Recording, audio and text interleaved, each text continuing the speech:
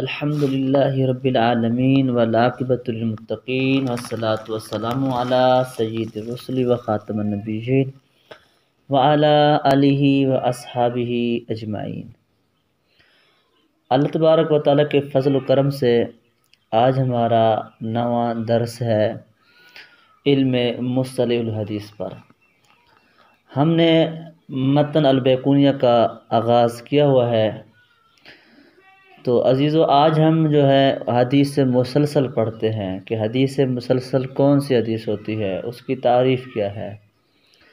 तो आज दसवां और ग्यारहवां शेर सुनिए मतन अलबैकुनिया का मुसलसल कुलमा अला वसफ़िन अता, मिसलु अमा वल्लाहि अम्बा अनिल फ़ता कज़ाल का कद हद सनी काइमन, औ बाद अन हद सनी मुतबसमन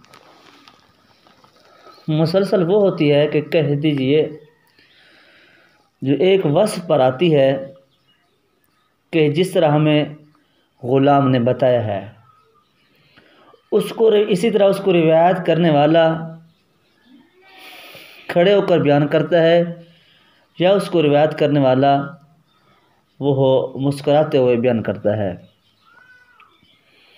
अज़ीज़ दोस्तों, हदीस मुसलसल की तारीफ़ ये है रावी जो है, वो रिवायत करने वाले की वसफ़ और कैफियत को महफूज कर ले। उसे जहन में रख ले, याद कर ले कि ये जो मैंने हदीस सुनी है, वो जो रिवायत कर रहा था, रावी जो था, उसने इस हदीस को खड़े होकर बयान किया है।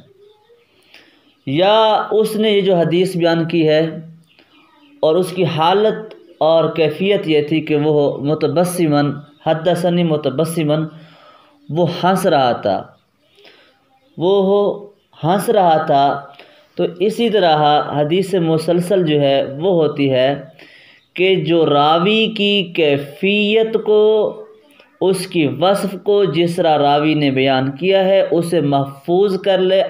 आगे उसे उस सिफत और कैफियत से बयान करे, इसे कहते हैं हदीस मुसलसल। और इसकी बहुत सारी अकसाम हैं। एक जो है, ये भी है कि है, वो हदीस मुसलसल मतबसमा है, रावी ने जिस वक़्त इस हदीस को बयान किया कि वो हंस रहा था या वो खड़ा हुआ था, इसकी बहुत सारी अकसाम हैं, जो इन हम बड़ी किताबों में उन्हें पढ़ेंगे। आज हमने जो है, वो क्या पढ़ी है? हदीस मुसलसल के रावी रिवायत करने वाले की कैफियत और हालत को, वसफ़ को वो महफूज कर ले आगे इसी तरह।